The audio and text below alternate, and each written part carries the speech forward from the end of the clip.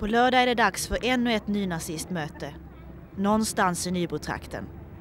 Polisen gör vad de kan för att förbereda sig och säger att man tänker rycka in så fort det skulle bli någon typ av ordningsstörning.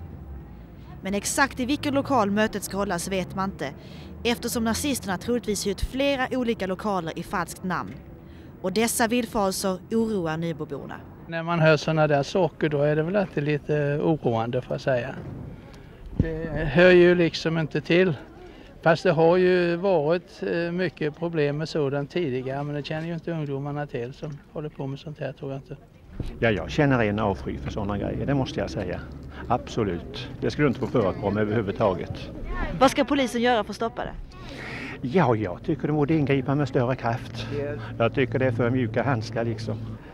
Att de kan förneka det som har hänt en gång, det tycker jag är någonting o, ja, det är ofattbart att de kan göra. Jag tycker inte om deras attityder eller något, det gör jag inte. Folkets husföreningen i Nybro har fått tillsägelse av polisen att hålla ögonen öppna. Enligt vissa rykten som gått kan någon av de förtäckta nynazistbokningarna vara en av föreningens lokaler.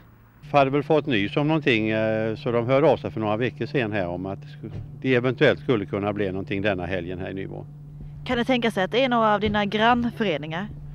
Det vet man ju aldrig. Det, det kan jag inte svara för. Jag hoppas inte det.